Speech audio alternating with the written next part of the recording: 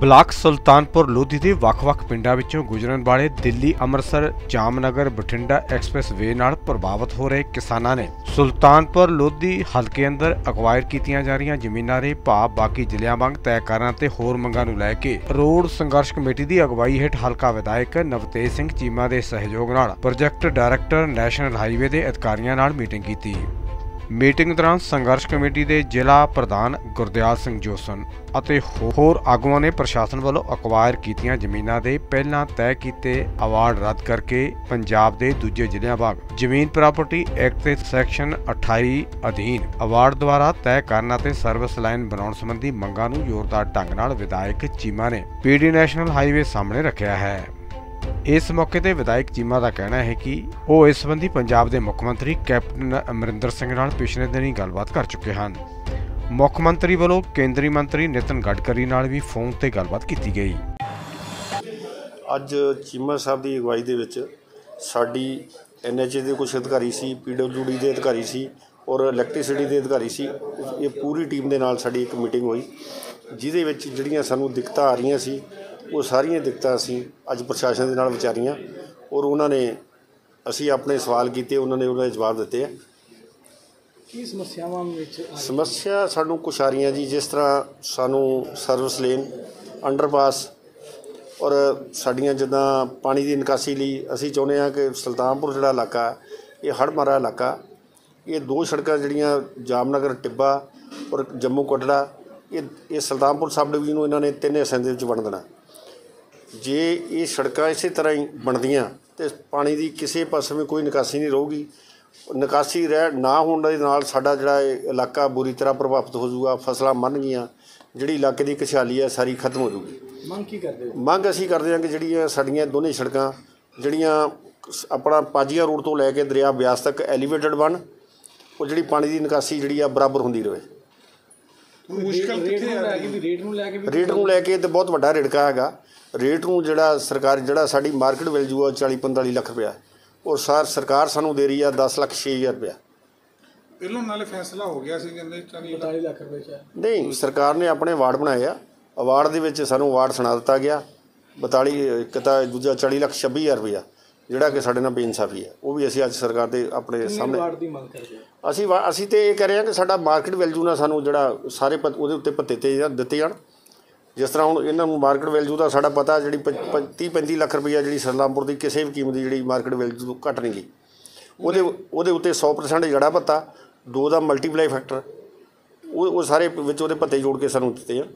National highway ਵਾਲੇ ਬੁਲਾਏ ਸੀ, ਉਹਦੇ ਨਾਲ ਪੀਡਬਲਯੂਡੀ ਜਿਹੜਾ ਮਹਿਕਮਾ ਔਰ ਫੋਰੈਸਟ ਵਾਲੇ ਬਿਜਲੀ ਬੋਰਡ ਜਿੰਨੇ ਡ- ਨਾਲ ਰਿਲੇਟਡ ਮਹਿਕਮੇ ਨਾ ਜਦੋਂ ਰੋਡ ਬਣਨਾ ਆ ਔਰ ਨਾਲ ਸਾਡੇ ਜਿਹੜੇ ਜ਼ਿਲ੍ਹਾ ਪ੍ਰਧਾਨ ਬੁਲਾਏ ਸੀਗੇ ਪ੍ਰਭਦੇਵ ਹੋਰੀ ਜਿਹੜੇ ਕਿਸਾਨਾਂ ਵੱਲੋਂ ਡੀਲ ਕਰਦੇ ਆ ਨਾਲ ਐਸਡੀਐਮ ਸਾਹਿਬ ਡੀਆਰਓ ਤਹਿਸੀਲਦਾਰ ਸਾਰਾ ਮਹਿਕਮਾ ਬੁਲਾਇਆ ਸੀ ਵੀ ਉਹਦੇ ਵਿੱਚ ਕੀ ਮੁਸ਼ਕਲਾਂ ਜਿਹੜੀਆਂ ਪਾਣੀ ਦਾ ਨਿਕਾਸੀ ਕਿੱਥੇ ਕਿੱਥੇ ਹੋਣੀ ਚਾਹੀਦੀ ਆ ਅ, ਜਿਹੜਾ ਅੰਡਰਪਾਸ ਕਿੱਥੇ ਬਣਨਾ ਚਾਹੀਦਾ ਪਾਈਪ ਕਿੱਥੋਂ ਪੈਣੇ ਚਾਹੀਦੇ ਆ ਇਹ ਸਾਰੇ ਸੁਝਾਅ ਲਏ ਔਰ ਉਹਨਾਂ ਨੇ ਜਿਹੜਾ ਬੜੇ ਵਧੀਆ ਤਰੀਕੇ ਨਾਲ ਦੱਸਿਆ ਵੀ ਜਿਹੜਾ ਸਰਵੇ ਹੋਣਾ ਉਹਦੇ ਵਿੱਚ ਨਾਲ ਹੋ ਕੇ ਤੁਸੀਂ ਨਕਸ਼ਾ ਬਣਾ ਲਓ ਔਰ ਜਿੱਦਾਂ ਜਿੱਦਾਂ ਕਹਿਣਗੇ ਕਿਸਾਨ ਆਪਣੇ ਉਦਾਂ ਉਦਾਂ ਹਾਈਵੇ ਵਾਲੇ ਕਹਿੰਦੇ ਅਸੀਂ ਪੂਰਾ ਕਰਤਾ। ਕੋਈ ਰੇਟ ਨੂੰ ਲੈ ਕੇ ਵੀ ਰੇਟ ਕਾ ਜਿਹਲੇ ਰੇਟ ਨੂੰ ਲੈ ਕੇ ਵੀ ਕਈ ਜਗ੍ਹਾ ਤੇ ਹੈਗਾ ਆ ਰੇਟ ਕਾ ਔਰ ਉਹ ਅਸੀਂ ਉੱਪਰ ਲਿਖ ਕੇ ਭੇਜਿਆ ਸਾਰਾ ਵੀ ਜਿਹੜਾ ਇਹ ਰੇਟ ਵੱਧ ਚਾਹੀਦਾ ਸਾਨੂੰ।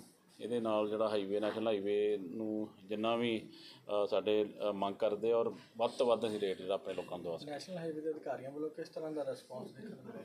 ਨੈਸ਼ਨਲ ਹਾਈਵੇ ਦੇ ਅਧਿਕਾਰੀਆਂ ਨੇ ਜਿਹੜਾ ਬੜਾ ਜਿਹੜੇ ਅ, ਜਿੰਨਾ ਕੁ ਉਹਨਾਂ ਦੇ ਵ- ਵੱਸ ਸੀਗਾ ਉਹ ਪੂਰਾ ਉਹ ਕਹਿੰਦੇ ਉਸ ਹਿਸਾਬ ਨਾਲ ਸਾਥ ਦੇਵਾਂਗੇ ਔਰ ਕੀਤਾ ਵੀ ਆ। ਔਰ ਉਹਨਾਂ ਨੂੰ ਇਹ ਅਸੀਂ ਸਾਰਿਆਂ ਨੇ ਕਿਹਾ ਵੀ ਤੁਸੀਂ ਇਹ ਆਪਣੇ ਵੱਲੋਂ ਵੀ ਵੀ ਕਿਸਾਨ ਇੱਕ ਉਜੜਨਾ ਆ ਜਿੱਥੇ ਜ਼ਮੀਨ ਆਪਾਂ ਕਰਦੇ ਉਹਦਾ ਜਿਹੜਾ ਵੱਧ ਤੋਂ ਵੱਧ ਜਿੰਨਾ ਬੈਨੀਫਿਟ ਦੇ ਸਕਦੇ ਹੋ ਉਹ ਸਾਨੂੰ ਦਿਓ। ਮੀਟਿੰਗ ਦਾ ਸਿੱਟਾ ਸਮਝੀਏ ਤੇ ਕਿਸ ਤਰ੍ਹਾਂ ਦਾ ਨਿਕਲਿਆ ਜੀ?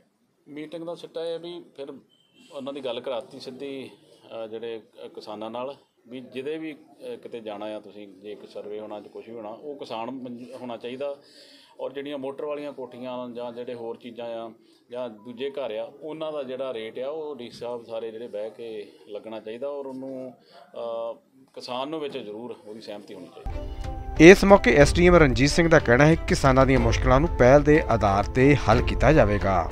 ਕਿਸਾਨ ਯੂਨੀਅਨ ਤੇ ਵੱਖ-ਵੱਖ ਜਥੇਬੰਦੀਆਂ, ਸਾਡੇ ਆਫੀਸਰ ਸਾਹਿਬਾਨ ਔਰ ਐਮਐਲਏ ਸਾਹਿਬਾਨ ਦੇ ਨਾਲ ਜਿਹੜੀ ਸਾਂਝੇ ਤੌਰ ਤੇ ਹੋਈ ਆ ਕਿ ਨੈਸ਼ਨਲ ਹਾਈਵੇ ਜਿਹੜੇ ਲੰਘ ਰਹੇ ਨੇ, ਉਹਨਾਂ ਦੇ ਥੱਲਿਓਂ ਦੀ ਪੁਲੀਆਂ ਦੇਣ ਦਾ, ਰਸਤੇ ਦੇਣ ਦਾ ਔਰ ਸਟਰਕਚਰ ਜਿਹੜਾ ਹੈ, ਉਹਦੀ ਵੈਲਿਊਏਸ਼ਨ ਕਰਾਉਣ ਦਾ।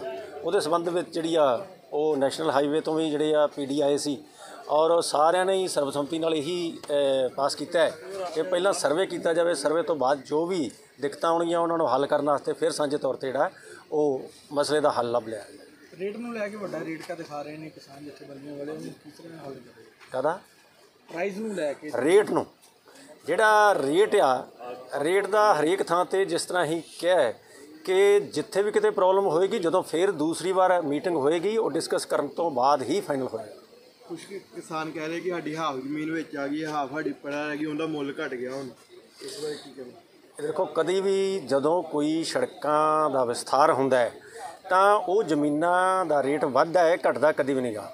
ਹਾਲਾਂਕਿ ਇਹ ਹੈ ਕਿ ਜਿਹੜੀ ਜ਼ਮੀਨ ਇੱਕ ਕਿਸਾਨ ਦੀ ਦੋ ਪਾਸੇ ਚਲੇ ਗਈ ਆ, ਉਹਦੇ ਪਾਣੀ ਦਾ ਦੋਨਾਂ ਪਾਸਿਆਂ ਨੂੰ ਸਪਲਾਈ ਦੇਣ ਵਾਸਤੇ ਔਰ ਉਹਨਾਂ ਦੇ ਰਸਤਿਆਂ ਦਾ ਉਹ ਖਿਆਲ ਰੱਖਿਆ ਗਿਆ ਔਰ ਜਿਹੜੇ ਐਨਐਚਐਲ ਹੈਗੇ ਆ ਉਹਨਾਂ ਨੂੰ ਡਾਇਰੈਕਸ਼ਨ ਦਿੱਤੀ ਗਈ ਆ ਕਿ ਜਿੱਥੇ ਜਿੱਥੇ ਵੀ ਰਸਤੇ ਹੈਗੇ ਆ ਉੱਥੇ ਐਕਸੈਸ ਦਿੱਤਾ ਜਾਊ। ਐਨਐਚਆਈ ਨੇ ਕੁਝ ਵਿਸ਼ਵਾਸ ਦਿਵਾਇਆ ਕਿ। ਸਿੱਟਾ ਨਿਕਲਿਆ ਮੀਟਿੰਗ ਹਾਂ ਹਾਂ।